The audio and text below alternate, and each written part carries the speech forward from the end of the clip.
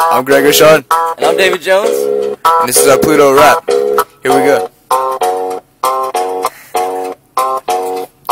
Pluto, it should be a planet. That's like saying there aren't other rocks called granite. So what? It's just tiny and blue. Well, I hate to break it to you, man. Earth is too. Pluto It's just a little rock.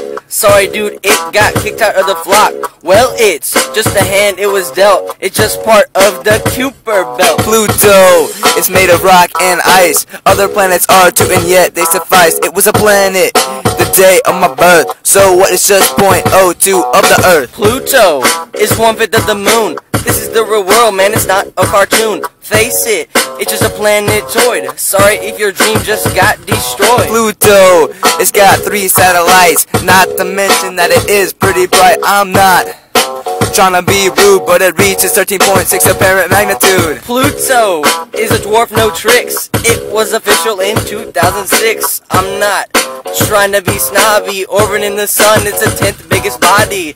It's time that we let the world know, dude. We're talking about Pluto. Clyde Tombaugh got all the glory. Don't forget about the Lowell observatory. It's time that we let the world know, dude. We're talking about Pluto. Clyde Tombaugh got all the glory, but you can't forget about the Lowell observatory.